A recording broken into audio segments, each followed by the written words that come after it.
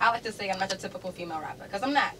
And um, I do hip hop, but I also do not so typical hip hop beats. Like I would go over a Taylor Swift joint any day, or like something real out of this world, like some dubstep. You know, Mm-hmm. Cause I don't want to be like just like everybody else, every other rapper. I want to um, have my own lane. So yeah, that's basically what my kind of hip hop is. And it's lyrical too. Can't forget that it's lyrical. All right, so so you're talking about something in your music, Exactly, exactly. Not no jabba jabba dumb down stuff. Nah, nah, none of that. and you're from DC, right? Yeah, southeast to be exact. South side. Alrighty, alrighty, and I'm sure that has also influenced your music somewhat. Too, yeah, would you say? definitely. I mean, I would say like life around DC itself, because I don't just stay in one place. Like, especially when I'm working and doing shows, I always see like the nightlife or, you know, a lot of stuff going around. I try to incorporate it into my rhymes and like just everything I write about or incorporate in my art, not just my music, but like my paintings as well. So yeah. As well, we're gonna have to get you to elaborate uh-huh. on that one. I mean, I dabble in it, you know. Actually, I'm going to be giving away one of my original pieces this Thursday at the release party, so you got to be there to check it out. But yeah, I'm into that too, not just music. that's dope. That's real dope. Thank you. So, who would you say inspired you then, not just to make music, but to make art? You can take it any direction you want to. Um, who? Uh, I guess. Let me see. It's a lot of different influences. I would say one of the top influencers are uh, CeeLo. He's oh, I love him. He's out of this world. Um, Outkast. You know, Andre, Big Boi. Let's see, Little Dragon. Um, even artists like John. John. What's his name? Basquiat. That's his last name. But he's a uh, famous artist. He died when he was um, very very young. Uh, Andy Warhol. Anything dealing with art basically influences me. Okay. Yeah. I have a question. One of my favorite bands is Little Dragon. So what's your Ah. favorite Little Dragon song? Ah, my favorite little dragon song. It's this song called Wildfire. Mhm. Yes, I'm so in love What, with what that got song. you kind of hip to them? Like I've never heard anybody even listen to Little Dragon before. Like never. You know what? It probably was the Pandora station I was on. Really? Yeah, I love Pandora. They introduced me to so many different new Mhm. artists and new people, and I love it. So probably Pandora. Yeah. Are there any, um, I guess, traits from them? Because they're they're very different bands. Mhm. They incorporate a lot of genres They into do. one. Type of traits from them that you kind of incorporate into your music, and that you would like to. Well, um, I would definitely love to have a band. I don't have a band, so that's one aspect that I really, really would love to have because it, it just adds that much more to a um, performance or to like a song in general. And I like how I've never seen them live, but I've seen them videos. Mm-hmm.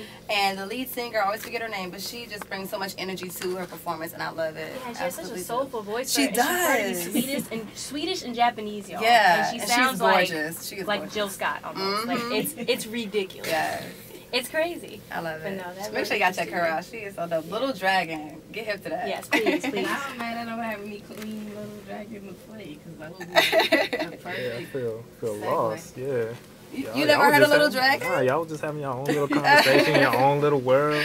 True.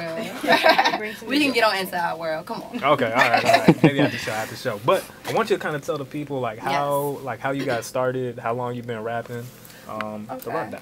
Well, actually, I started rapping when I was in my freshman year of VCU.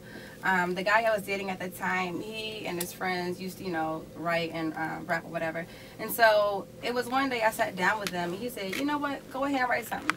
So I wrote something and, you know, recorded it and they thought it was tight. So I said, mm, I guess I'll do another song. So that song led to my first mixtape, which is called um, Studio 1206, and that dropped in 08. And that's one of five or six mixtapes now.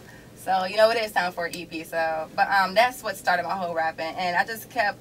I grew more in love with the performance and just writing itself and being able to express myself. So that's why I just kept going with it.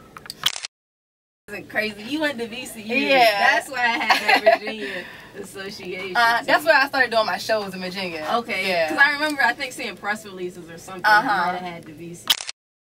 Did you you started when you were in college? Yes. How was it balancing being an artist and a student at the same time? Because I know we probably have a lot of listeners that Uh-huh. are in that boat or want to be in that boat. Right.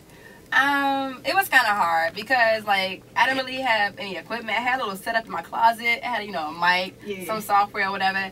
And like when I didn't have any work to do or you know any exams to study for, I would just go in there and record. And yes, it was hard because I would want to just continue with it like all night or all week long, but I couldn't because you know I had papers to do and everything else. So it became kind of hard. But at the end of the day, it's persistence and dedication. So if I just stuck to it, I just kept going with it, and it, it became easier as I kept doing it. And you put out three mixtapes while you were in college. Yeah, um, Studio 706, uh, Check the Rhyme, From the Planet of the Greats.